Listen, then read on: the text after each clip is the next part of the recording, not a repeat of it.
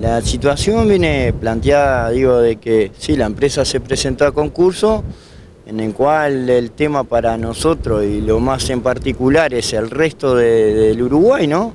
Siendo que el centro de trabajo acá del ciclo combinado, por suerte tiene los saberes y todo gestionado de buena forma, en total Ayer hubo un comité de delegados de Calpusa a nivel nacional donde se resolvió en estado de alerta.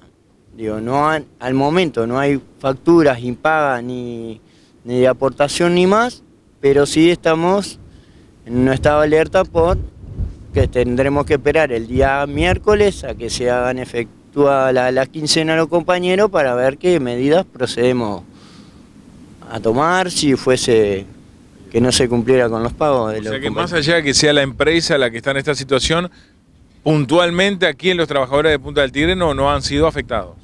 Acá en, la normal, o sea, en este centro de trabajo no ha sido afectado. Si tenemos compañeros de diferentes departamentos, ¿no?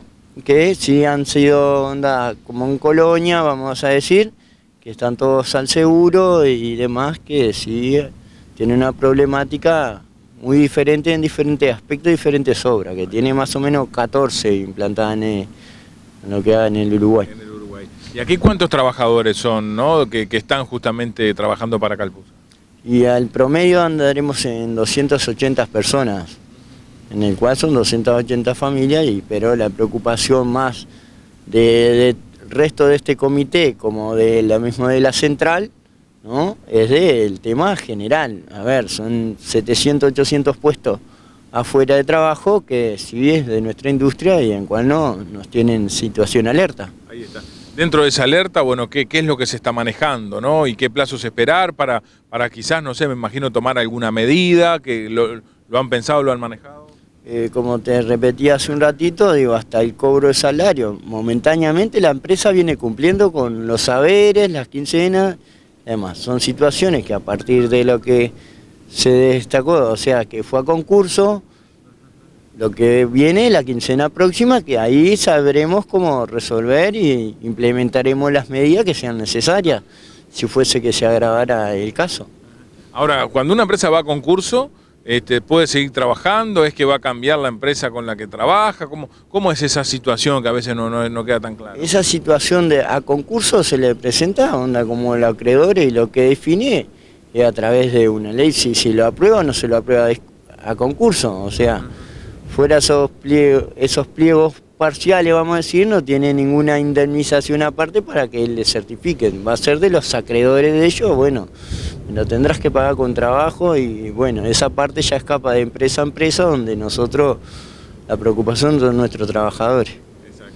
Y, sobre todo el hecho bueno, de, que se, de que se mantenga trabajando y, cumpliendo ¿no? lo que va a ser el, la obra, como en este caso. En, este, en esta empresa, en este momento, los trabajadores acá, fuese la situación que fuese, serán después absorbidos y no se le da el, el concurso y lo demás pues sí, onda, tendrían que ser absorbidos por, por el nuevo que tome la, la concepción, vamos a decir, la obra para seguir con los avances pronosticados.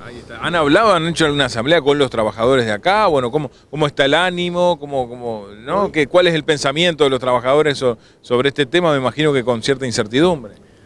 Hoy digo, para resolver, ayer como te explicaba, que hubo la o sea, el comité de delegados en el Zunca Central, donde se bajó, hoy a primera hora se, hizo una asamblea con los trabajadores de Calpusa, en el cual, a gran percepción, la gente lo tomó muy tranquila, ¿no? Pero que garantizándole, bueno, momentáneamente tenemos el pago, siendo claro que en los puntos nos vamos a ver, resolver y no nos apresuremos, no generemos alguna psicosis, de que no tenemos nada firme, bueno, hasta decir que ahora que tenemos el próximo, la quincena correcta, en el cual sí, la medida es seguir trabajando en todos los frentes que haya, no solo en particular en esta obra, sino en todo, todo el Uruguay. Ahí está. Digo, complicado ha sido, ¿no? E, el, tema aquí en torno a Puntas del Tigre, a las empresas, con, con muchas situaciones que, que han generado conflictos con los trabajadores.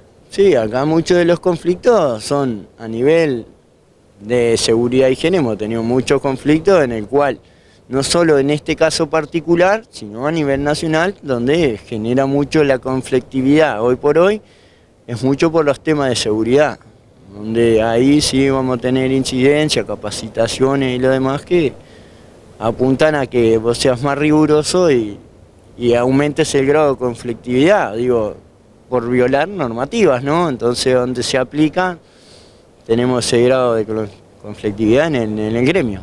Bueno, por último, entonces, bueno, recordar y reiterar que se va a esperar, ¿no?, a que culmine la quincena y después, bueno, ahí se, se, tomarán medidas de acuerdo a lo que Ahí en ese momento sí se tomarán las medidas que sean necesarias, o sea, se llamará de nuevo a un comité de calpusa de los delegados de diferentes centros para resolver qué medidas seguir.